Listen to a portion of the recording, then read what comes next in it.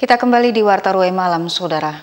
Satu anggota Satuan Lalu Lintas Polres Kuburaya menerima penghargaan karena menyelamatkan banyak pengguna jalan di jembatan Kapuas 2. Ia menggunakan sepeda motornya untuk mengganjal bus yang mogok di tanjakan jembatan Sabtu pagi 30 Desember 2023 lalu.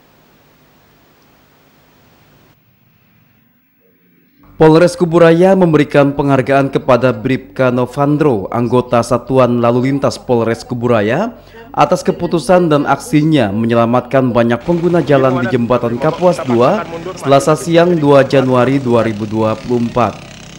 Bribka Novandro merelakan sepeda motor pribadinya untuk mengganjal ban bus yang mogok di tanjakan jembatan untuk mencegah terjadinya kecelakaan beruntun pada Sabtu pagi 30 Desember 2023 lalu. Kapolres Kuburaya, Ajun Komisaris Besar Polisi Arif Hidayat mengatakan, saat itu jalan menuju jembatan padat merayap dan kebetulan terdapat anggota yang mengatur arus lalu lintas. Aksi inisiatif Bribka Novandro itu spontan dilakukan karena bus mogok dan berjalan mundur sehingga dapat memicu kecelakaan.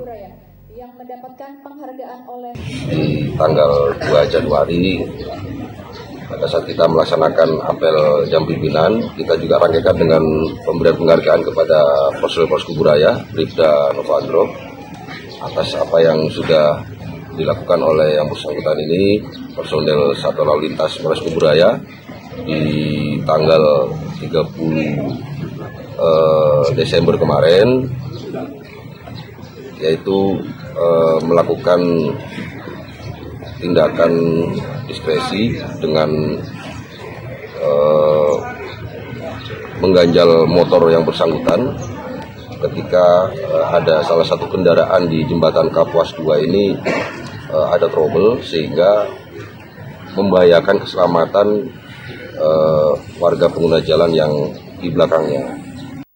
Uh, pada sekitar jam 6.45 itu jadi mobil itu kecepatannya uh, apa kejadiannya sangat cepat untuk saya itu refleks jadi pada saat bis itu mundur saya langsung ngambil motor saya dan mendahului bis sembari mengevakuasi orang-orang yang ada di belakangnya.